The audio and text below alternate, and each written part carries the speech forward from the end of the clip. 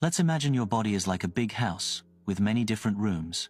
Organs like your heart, brain, skin. What is maternal fetal microchimerism? During pregnancy, something truly amazing happens between a mother and her baby. It's called maternal fetal microchimerism.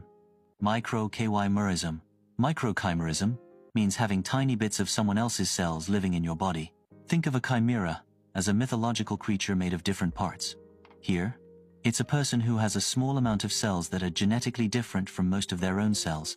So, maternal fetal microchimerism simply means, during pregnancy, some of the baby's cells travel into the mother's body, and some of the mother's cells travel into the baby's body. This happens back and forth across the placenta, the special organ that connects the baby to the mother, providing food and oxygen. Scientists have found something truly astonishing. These tiny cells from the baby are not just passing through. They can actually stay in the mother's body for years, even decades, after the baby is born, and they seem to do incredible things to help the mother. Think of it like this. Specialized repair crew. Many of these baby cells are like stem cells. A stem cell is a special kind of cell that hasn't decided what it wants to be yet.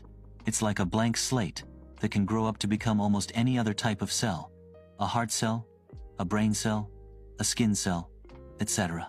Differentiate means these stem cells can transform or change into specific types of cells needed in the mother's body.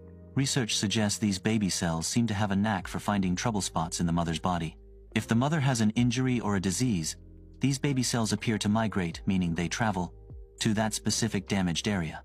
If a mother's heart is damaged, like from a heart attack, which doctors call a myocardial infarction, these baby cells can go to the heart.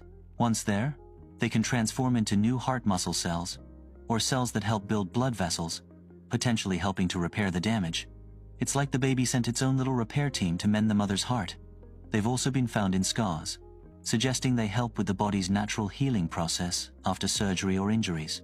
They've been found in the mother's brain, liver, lungs, kidneys, and skin, hinting that they might be helping to maintain and repair all sorts of parts of her body. These baby cells might also subtly influence the mother's immune system.